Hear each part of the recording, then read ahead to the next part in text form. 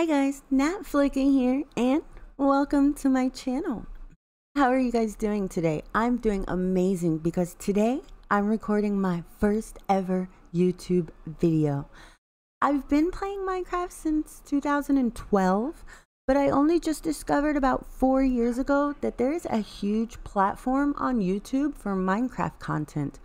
The first channel I ever stumbled upon was Python MC, and I enjoyed his content so much that I binge watched all of his Minecraft series. And in a collaboration between Python and the Mythical Sausage, I became stuck on Sausage too. I'll leave links for their channels down in the description below. Go check them out if you haven't already. So I've been wanting to make Minecraft content of my own for a few months now, but there was one big thing stopping me, and that is that I had never played Java Edition. That's right, I only got on Java in like December 2020. So if you see any noobish behaviors, I'm so sorry, guys. I'm open to tips and suggestions. Please leave them down in the comments below if you have any. But without further ado, let me take you inside my workshop.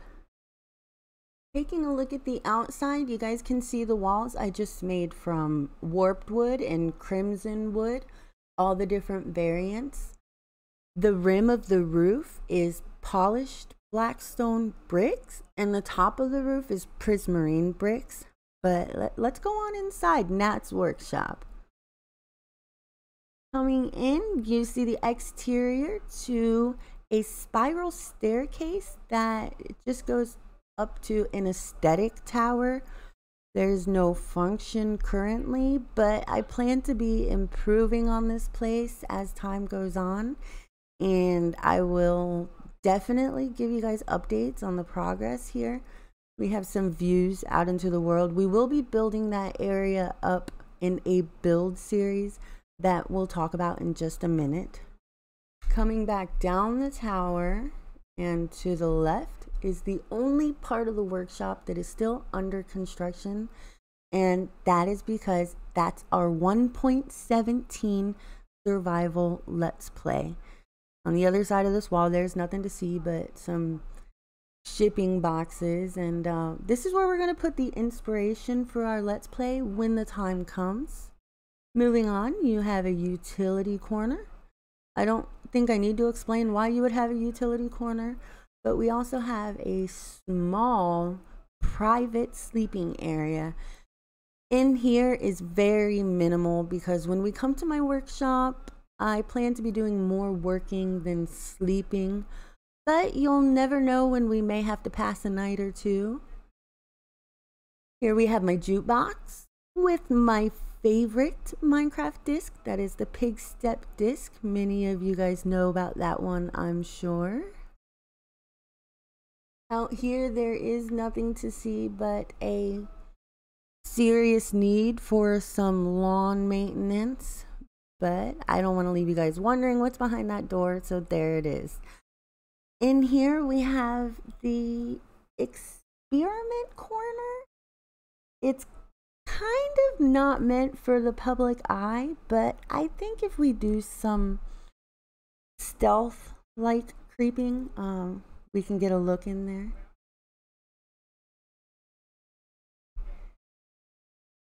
Here we are. You see the nether wart uh, for some experimental potion brewing. Up on top, we are attempting to cultivate a wither rose. Um, behind me is test subject B. Don't ask me what happened to test subject A. It was an accident. Let's just say it was pretty explosive. And behind me on my right, your guys' left, we have an extraterrestrial version of a campfire. Um, we're still performing tests, but we do believe that we have the campfire properly contained. The next and final part of my workshop I want to show you guys is the architect corner.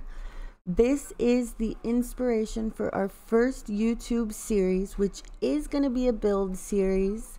Um, we're building settlements to start, but not just any settlements. Um, I want to build settlements that maybe you've never seen before or that we don't see very often. So you can see here we have an organic settlement, which is going to be um, built within or alongside um, organics in our world, like naturally generated structures or things that we can grow in our world. The shipping container settlement is going to be interesting, as in all of the structures have to be built out of 4 by 10 or 4 by 20 rectangles, which is proportionate to the size and shape of a shipping container. And since shipping container homes are a new fad these days, I, I look forward to seeing if we can perfect that type of settlement here in a Minecraft world. Then we have the RV and camper settlement. Uh, I have seen a lot of content creators make like an RV or a camper as like a starter home. I haven't seen a whole camper settlement. And I'm sure they're out there, but I, am going to take my whack at building this settlement before I go and look them up because I don't want to ruin the fun. Then we have our tiny house settlement. And this settlement is going to be special in that the interior of the largest structure will be no more than five by seven on the inside and all the surrounding structures will be even smaller than that. So it's going to be fun to challenge ourselves in trying to make this sort of settlement as functional but as aesthetically pleasing as possible. And then we have some blank spots. And that's where you guys come in.